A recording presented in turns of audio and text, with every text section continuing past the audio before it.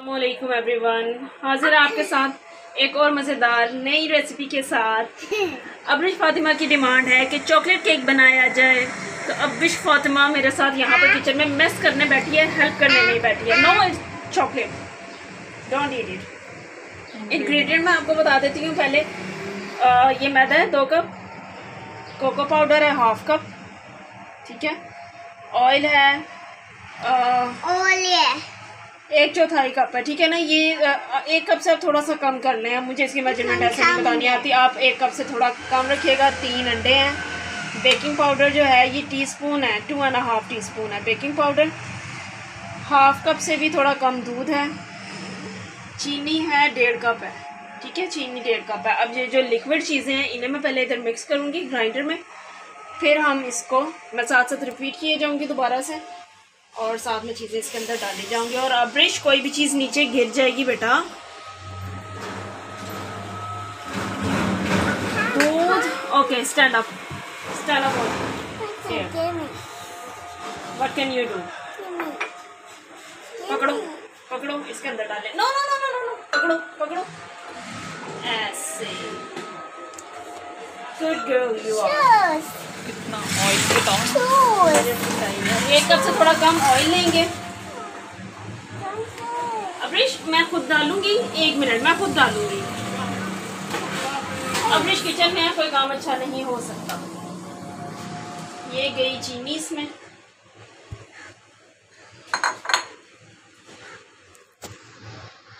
और ये बिस्मिल्लाह की बरकत तीनों अंडे।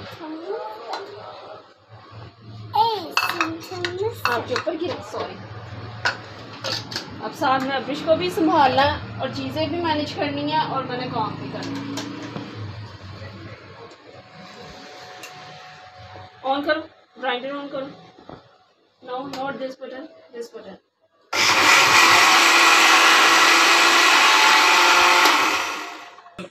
ये इसमें डाल दो इसमें। अब्रिश ये गया जी कोको पाउडर मैदे के अंदर ये हाफ़ कप है। अब इसमें डालेंगे बेकिंग पाउडर ये जो ड्राई इंग्रेडिएंट है ये सारे हम इसके अंदर ऐड कर देंगे। और इन्हें अच्छी तरह से हम यहाँ पर मिक्स कर लेंगे। आप चाहें तो इसे स्टेनर में डाल के भी अच्छी तरह से मिक्स कर सकते हैं। अगर आप छान लेंगे साथ में इन्हें तो ये बहुत अच्छी तरह से मिक्स हो जाएँगे। मेरे पास इस टाइम काका खड़ा हुआ मैं ये काम नहीं कर सकती। तो मैं इसे ऐसे ही मिक्स करूँगी। ये आ, सारे जो ड्राई चीज़ें थी वो सारी मिक्स हो गई हैं आपस में। और अब्रिश का दिल कर रहा है कि वो अभी से खाना शुरू करते हैं। वेट डोंट टच इट और अभी जो लिक्विड चीज़ें थी ये सारा इसके अंदर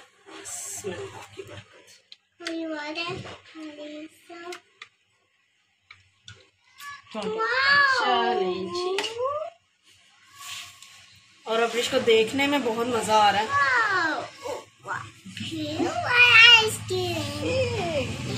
अच्छी तरह से हम मिक्स कर लेते हैं स्मूथ इसका पेस्ट बन जाए।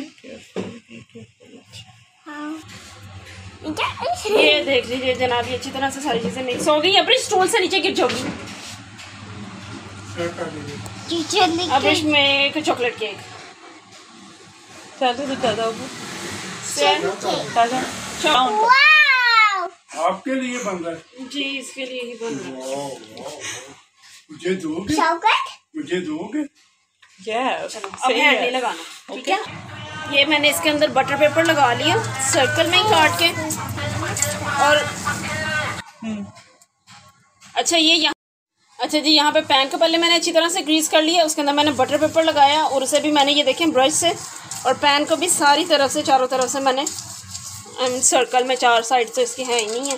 तो मैंने उसे ब्रश कर लिया ऑयल से। अब ये जो बैटर है ये डालते हैं इसके अंदर।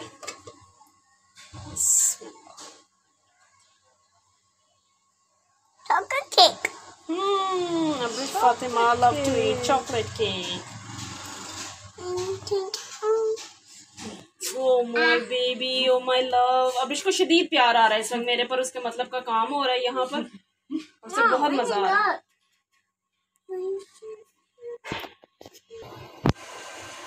अच्छा ये देखिए, मैंने इसे अच्छी तरह से टैप कर लिया। इस तरह से आप इसे टैप कर लीजिए। जब सारा बैटर इसके अंदर डालेंगे आप तो इसे इस तरह से टैप कर लें। जितने बबल्स नीचे थे, वो ऊपर आ जाएँगे बबल सारे, ठीक है जी? ये वो नीचे से स्मूथ हो जाएगा। अब यहाँ पर मैंने देगचा रखा हुआ था गर्म होने के लिए। बिना ओवन के अगर इसे बेक करना है इसे गर्म करना है तो ये देखिए, मैंने पहले से गर्म करने रखा हुआ था, और उसके अंदर मैंने वही जो सारा प्रोसीजर मैं आपको बहुत बार बता चुकी हूँ सेम है केक का मैं कितनी बार बेकिंग का ये तरीका बता चुकी हूँ। हीट अभी मैंने कम की है, पहले फुल था ये। अब मैं ये बीच में रख लूँ। ये देख लीजिए, ये मैंने बीच में रख दिया इसके। अब इसे ऊपर से तो मैं कवर करूँगी। अच्छी तरह से ये हो गया। और ये जो आँच है, ये नीचे देख लीजिए, वो मीडियम है। यही आँच रखेंगे, इससे ज़्यादा इसे तेज़ नहीं करना और कम नहीं करना। बीस मिनट बाद आकर इसे देखेंगे चेक करेंगे। अच्छा जी ये देखें केक जो है यहाँ पर बेक हो चुका है। इसे तकरीबन तीस मिनट लगे हैं बेक होने के लिए ठीक है? जो मैंने स्पंज केक बनाया था वो बीस मिनट में हो गया था। इसको तीस मिनट लगे हैं बेक होने में। ये हो चुका है मैंने आ, इस तरह से मेरे पास एक ये चॉपस्टिक थी इससे मैंने देखा है। सॉरी ये शास्ट्रिक स्टिक है। ये देखिए अंदर से साफ़ है बिल्कुल। ठीक हो गया? अब इसको मैं ज़रा थोड़ा सा कूल डाउन होता है तो फिर मैं इसे ट्रे में निकालती हूँ फिर आपको दिखाती हूँ। अच्छा ये मेरे पास एक ऑलपर्स की जो विप्ड क्रीम है ये था। एक पैक पूरा मैंने ये डाला इसके ऊपर आइसिंग के लिए। और ये डेयरी मिल्क चॉकलेट्स हैं मेरे पास। ये मैंने डाली हैं पाँच इसके अंदर। इसे मैं माइक्रोवेव करूँगी।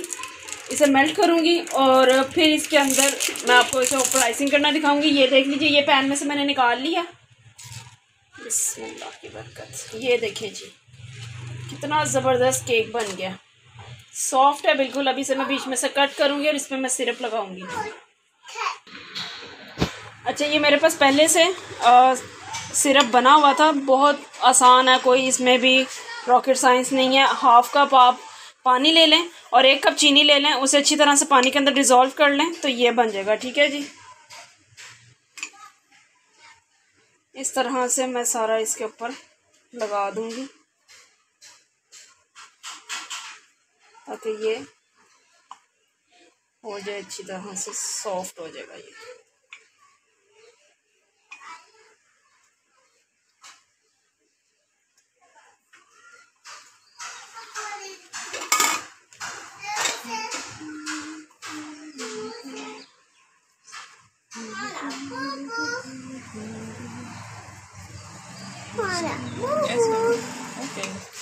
और अब ये आ गया यहाँ पे। कट कर सिर्फ़ मैंने सिरप करने के बाद वो दोनों हिस्से मैंने ऐसे ऊपर नीचे रख दिए।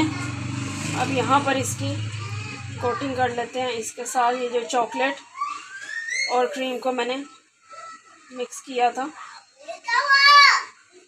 इसके साथ। और अब्रिश आ गई है फिर से। चॉकलेट खा लो। तो खा लो। आ, ये देख लीजिए।